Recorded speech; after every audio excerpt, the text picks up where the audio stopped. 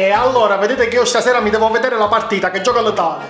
Vedi che tuo figlio sicuramente vuole completare la bandiera. Dell'Italia? No, quella del Burundi. Ma dove la devo andare a trovare la bandiera del Burundi? È un modo di dire, vuole la bandiera dell'Italia? No, del Burundi. Cioè, Come a dire gioca all'Italia, chi vuole la bandiera del Burundi? L'ho capito, ma, ma tu forse non hai capito che è difficile trovare in Italia la bandiera del Burundi. Ma chi ci sei per in Italia la bandiera del Burundi? A te!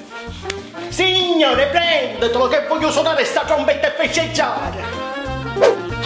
Certo, mi dispiace. Ma che cosa? Qua alla televisione hanno detto che un giocatore non può più giocare perché si è stirato il polpaccio. Meschino, si sarà bruciato. Ma pure lui che si stira il polpaccio, dico, che, che fa? Non se lo poteva tenere sgualcito.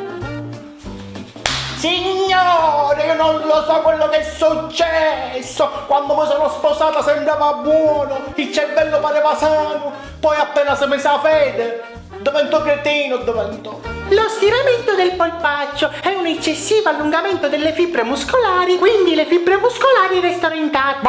Preso il suo bambino? Ma che abbiamo un dottore in famiglia, no? Ma che ne so, io mi conosco poco. E infatti, ma dico perché non ti guardi Teletubbies? Io mi guardo IAR, medici in prima linea. Eh, Luciano Onder, vattene a lavare le mani che fra poco si mangia e c'è la partita. Lavarsi le mani, i germi sono ovunque e si spostano da un punto all'altro utilizzando l'acqua, gli oggetti. E basta, mica è pesante! Se appena ti trovo che ti stai guardando in televisione questi programmi di scienza, ti metto in punizione. Ti devi guardare tu programmi educativi. Ti devi vedere Temptation Island. Ma io mi guardo Alberto Angela. Eh, senti, vedi che ti tolgo il cellulare. Ti devi vedere a, a Tena Cipollare e Gianni Esperti. Mm.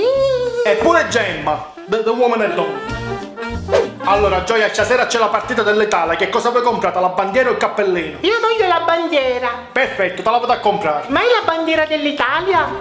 Quando faccio il domande cretine ha preso da suo padre. Allora, Gioia, l'Italia gioca stasera, no? È que- quella che c'è nei balconi che qua col vento, diciamo. eh, Mamma mia, te, te esprimi come un libro chiuso al contrario, manco pare italiano. Ma come te deve capire tuo figlio? Allora, stasera c'è la partita. Di calcio? No, ti briscola in cinque.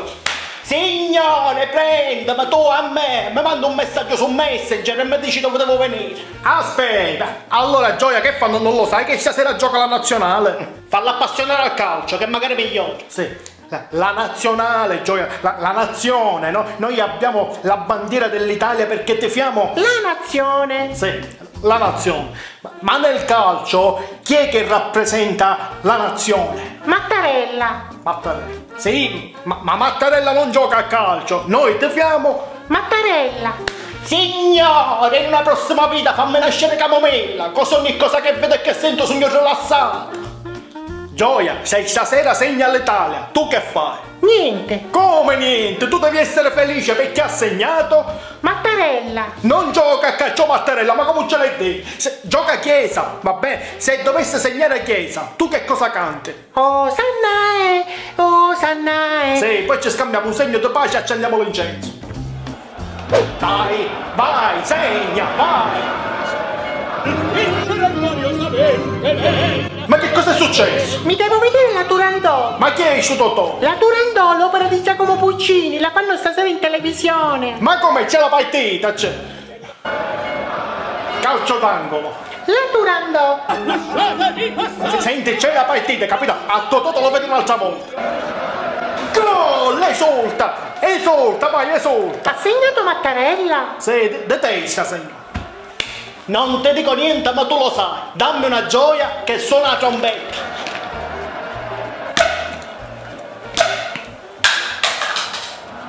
Ne hai fottuti.